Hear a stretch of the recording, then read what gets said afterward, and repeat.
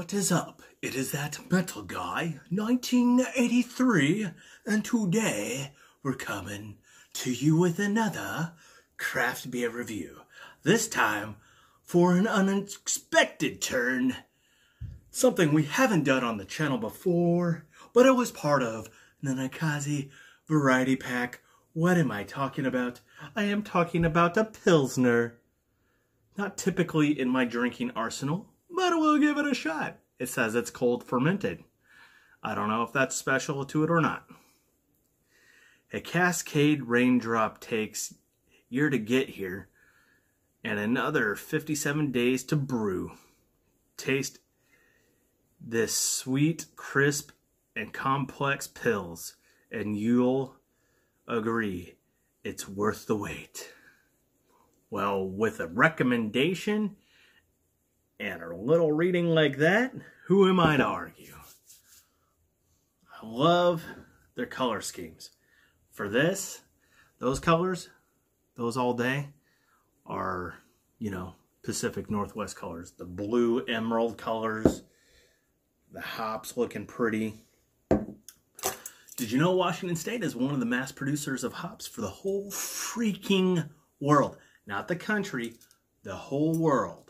Pretty freaking cool, right? Oh, yeah. Cap drop, baby. Let's see. Dry off the hands. Every time we get a bottle, we're going to do this. Ah, that's right. Finger grip power. Yeah. All right. So here's the Pilsner. Again, get your look. Let's see if it gives us any details on here. 4.7%. IBUs are even lower than usual at a 30%. So very, very, very sessionable is what that tells me. All right.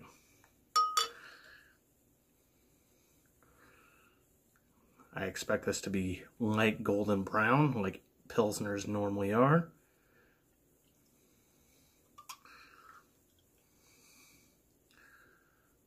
Look at that. Just light golden brown. Almost looks like cider when it's poured into the glass.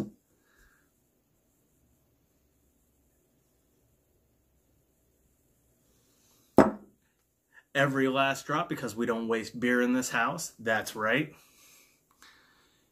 If you guys have one, crack, crack open a cold one. Have a drink with me. I'd love that. Comment down below what you're drinking. That would be awesome. Comment down below your favorite beers.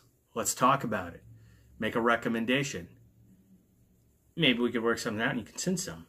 That'd be cool. Something I can't get around here. I'll review it on the channel and I'll shout you out. Don't forget to subscribe to the channel. Don't forget to give me a thumbs up if you like it. You can give me a thumbs down if you hate it. That's cool too. You guys could just not watch. That's fine. If you love it, Give me a thumbs up, comment down below. You can also comment down below if you don't like it, and we could talk about why, and maybe I could take some constructive criticism. Because everyone has an opinion, whether I agree with it or not, you're you're all entitled to your own opinion.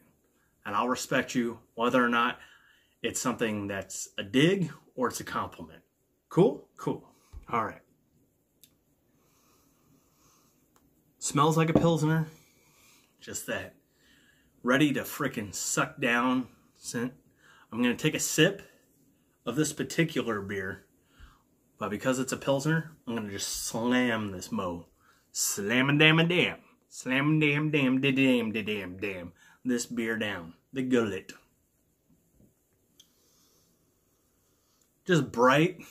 It's just a bright smell coming out of that glass, as Pilsners normally do.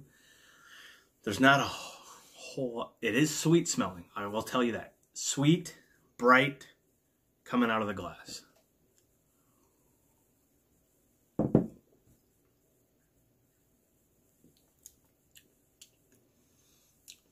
Now, to every Pilsner I've ever had, this is probably the best. A lot of Pilsners you're going to get, they're going to taste like piss water.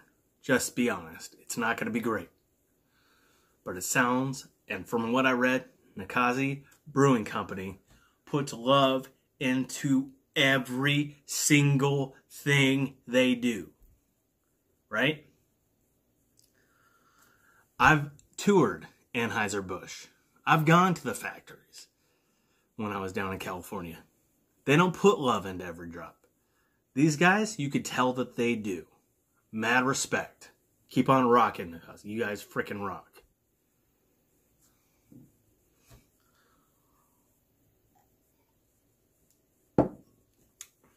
That's really good. I want to savor it, but I'm a man of my word. We're going to slam a damn damn this damn beer right there, right there. Alright? Yeah. and Van Dam, we got this.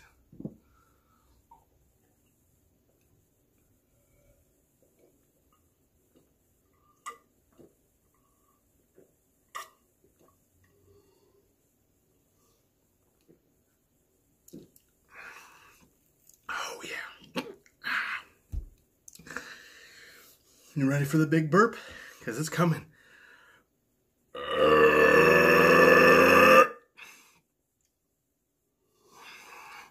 Thank you, Ninkasi, for the freaking excellent Pilsner and changing my perspective on this particular style of beer. Keep on rocking. Oh, yeah.